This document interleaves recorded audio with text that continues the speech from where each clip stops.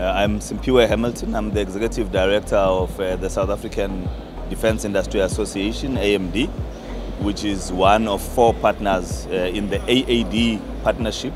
Uh, the other partners being the Department of Defence, Armscor, and uh, a sister organization called CASA, the Commercial Aerospace uh, Association of South Africa. Uh, the show itself is a national asset that has been going on for the last, uh, it will be 22 years next year. And therefore, next year will be our 11th installment.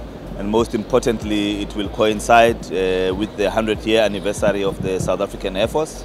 And we hope to see it becoming a, a much more bigger and successful show. I think the starting point is to understand that AAD is probably amongst the top five, top six uh, global exhibitions that we have similar to DSEI, DSA, LAAD, and all the other shows.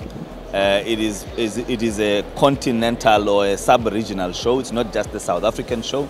We have the privilege of hosting it, but uh, it, is, it is a sub-regional show uh, that allows not only South African and some of the African defense companies to, to exhibit, but a, global presence uh, of no less than 40, 43 countries uh, in terms of uh, ex exhibitors that come in uh, but also delegations uh, from in excess of 50 countries that get invited, uh, with uh, more than uh, 10 of those coming from the sub-region itself.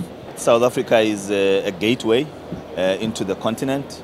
South Africa has got the requisite industrial base for providing a strong support of various defense equipment and has got its own indigenous technologies and therefore there's quite a lot of possibilities for partnerships, uh, for collaboration and for working together in meeting uh, client needs uh, across the globe. We ourselves export to no, to no less than 100 countries globally uh, and to every continent and uh, we look forward to another 20 years of exports from South Africa. The country itself is a, is a, is a gem uh, in many respects. We've got a few World Heritage sites, we've got the Cradle of Humankind, and we've got a, a, climate that throughout the year is fairly hospitable and, and please, uh, pleasing to attend. But uh, in September it's spring, uh, so there's quite a lot more that people can get to do as well. So the, the, there's a, an offering that goes beyond just the business opportunities that are there in terms of tourism and many other aspects uh, related to that. I think there's, there's two areas. I've already mentioned SAAF 100. I think it's a seminal milestone. We are privileged to have the second oldest Air Force in the world.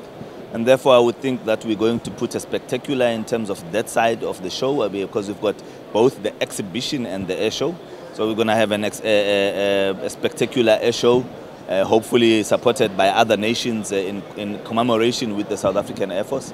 But more importantly, South Africa and the continent are both on a rebound. Um, and we would want to see that as the, the economy regains, the country uh, stabilizes uh, and comes out of various challenges that we've been faced with, that we start building new partnerships and strengthening the previous ones.